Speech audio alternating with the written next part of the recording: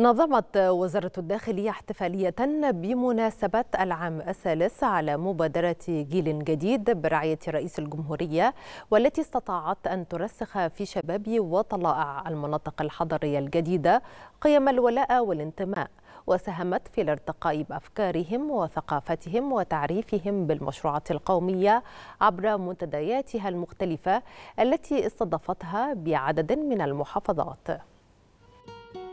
استطاعت مبادرة جيل جديد برعاية رئيس الجمهورية أن ترسخ في شباب وطلائع المناطق الحضرية الجديدة القيم الاجتماعية والوطنية وقيم الولاء والانتماء.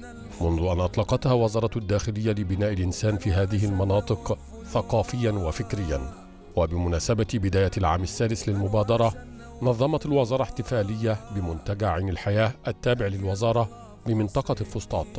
استمتع خلالها شباب وطلائع المناطق الحضرية الجديدة بالألعاب الترفيهية.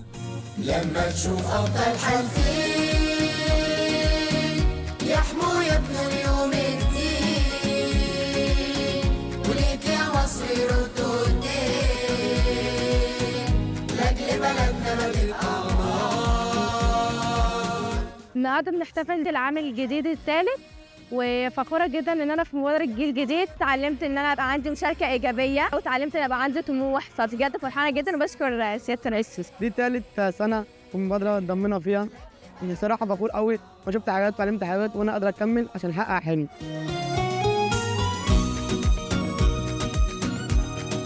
المبادرة التي استطاعت تشكيل وجدان الشباب وزرعت فيهم الأمل والحلم والتحدي وغيرت حياتهم للأفضل تضمنت احتفالية بداية عامها الثالث حلقات نقاشية عبر خلالها الشباب عن تطلعاتهم وآمالهم وتمنياتهم لمستقبلهم بعد أن فتحت لهم مبادرة جيل جديد أبوابا من الطموحات والأحلام يمكن تحقيقها. أنا هسألك سؤال يا حبيبة إيه الحلم اللي كنت بتحلميه زمان قبل ما تتنقلي الأسمرات؟ كان حلمي قبل ما أجي الأسمرات كان حلمي دايما إن أنا زي ما بشوف في التلفزيون مثلا أولاد بيروحوا نوادي كده فكان حلمي إن أنا أكون مشاركة في نوادي قصر ثقافة الكلام ده. فلما رحت حي الأسمرات كان الكلام ده كله متوفر. إيه يا خالد اللي اتغير فيك وأنت حاسس إن وجودك في مبادرة كلنا واحد غيرك و... وخلاك تبص للدنيا بشكل مختلف؟ المبادرة خلتني عندي طموح. بتقعد على الفيسبوك كتير يا خالد؟ تشوف ناس بتهاجم بلادك أو بتهاجم مؤسساتها؟ أيوه بشوف. بس أي بني آدم هتقابله مشاكل في حياته المهم اللي هو يعافر. مهم إن هو يعافر. ما يهموش كلام الناس. ما يهمهوش كلام الناس. بداية المبادرة كنا حاجة ودلوقتي بقينا حاجة تانية خالص. علمونا إزاي نتعامل مع الناس ونحترم أسرتنا ونحترم بلدنا. ولسه في طموحات جاية كتيره قوي اتعلمنا من المبادره حاجات كتير قوي اتعلمنا الاراده والتحدي وإزاي نخاف على بعض. شفت في مبادره الجيل الجديد اللي بلدنا بتتطور للأحسن وإحنا بنتطور معاها؟ شهدت الاحتفالية حضورا من عدد من الفنانين والإعلاميين وخبراء الموارد البشرية الذين أثنوا على المبادرة وما لمسوه من تغيير في هؤلاء الشباب خلال مراحل المبادرة. مبادرة كلنا واحد جيل جديد. ثلاث سنين النهارده بنحتفل. مولود جديد بيولد أمامنا جميعا بنشوفه. إحنا شهداء على هذا الفكر على هذا التطور على هذا البناء العظيم وليس المقصود بالبناء البناء المعماري فقط ولكن بناء العقل. شفت قد إيه هناك فكر متطور هناك لغة أخرى هناك شباب جديد جيل جديد فعلا. فأنا يعني بتقدم باسمي واسم كل فنانين مصر. بكل الشكر والتقدير لفخامة الرئيس عبد الفتاح السيسي على مبادرة الجيل الجديد. أجمل كلمة سمعتها النهاردة إحنا ما كانش عندنا أحلام قبل ما نروح المناطق الحضرية وبقى عندنا أحلام الحقيقة مختلفة بيشتغلوا بينتجوا بيتعلموا بيجوا هنا بيشوفوا بلدهم. دي الناس اللي الحقيقة ما يتخافش على الوطن طول ما تفكيرهم بهذا الأسلوب. قدرنا إن إحنا نسجل نجاح كبير جدا في شخصية الشباب دول.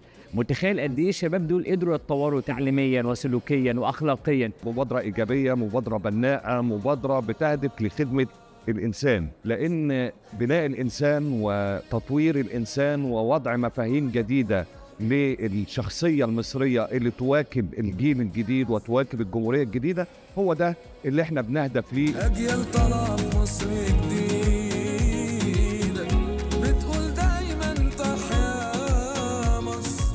الاحتفالية استعرض خلالها الطلائع مواهبهم.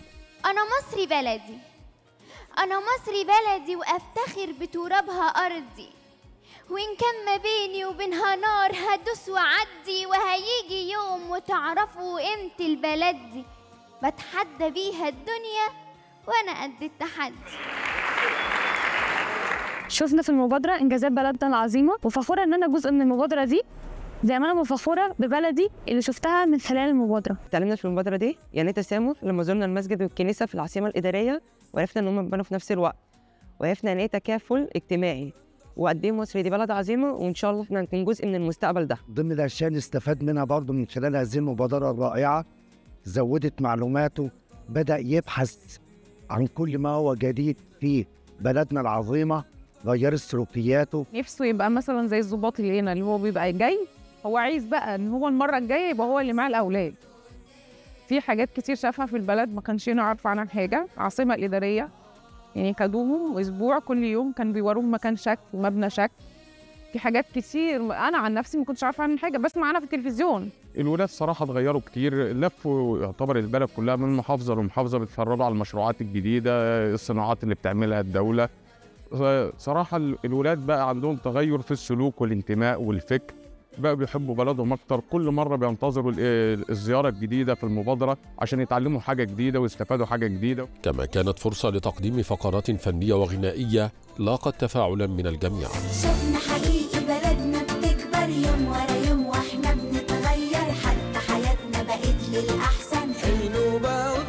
بيظهر. شفت مجهود المهم اللي بتبذله وزارة الداخلية علشان تربطهم بالبلد أكتر آه، توريهم الحاجات الإنجازات اللي بتحصل على على الأرض؟ أبدأ أهيئهم إن هم يبقوا نماذج في المجتمع نماذج قوية نماذج مفيدة. سعيد إن أنا موجود النهارده وسعيد إن أنا شايف التطور ده اللي بيحصل في الشباب يعني. يعني أنا شفت البدايات بتاعتهم كانوا بيفكروا إزاي وبعد كده لما حصلت المبادرة دي ودخلوا فيها دلوقتي بيفكروا إزاي وتفكيرهم كله اتغير يعني. جيل بيعرف يتعامل بيعرف يتعامل في ال- في التكنولوجيا بيعرف يتعامل آه، في ال- كل الحضارات بيتعامل بالأسلوب الراقي. في ختام الاحتفالية وجه شباب وطلائع المناطق الحضرية الجديدة رسالة شكر وتقدير لرئيس الجمهورية. بابا الرئيس عبد الفتاح السيسي. أنا وزمايلي في مبادرة كلنا واحد جيل جديد. بنشكر حضرتك إنك فعلا غيرت حياتنا وعملت لنا المبادرة الحلوة دي وخلتنا نشوف الدنيا بشكل تاني. المبادرة خلتنا نزور أماكن ما كناش مصدقين إنها حقيقية وعرفنا إن كل حاجة اتعملت كانت مهمة لمستقبلنا وإن هي دي مصر الجديدة. ده إحنا كمان بنغير أهالينا وأصحابنا. إحنا فكرنا إزاي نو- نوصل إحساسنا لحضرتك. فكتبنا لك الجواب ده. إحنا كلنا بنحبك ونفسنا نقابل حضرتك لأنك أملنا في بكرة وعلى إيدك نحقق كل أحلامنا. شكرا يا بابا.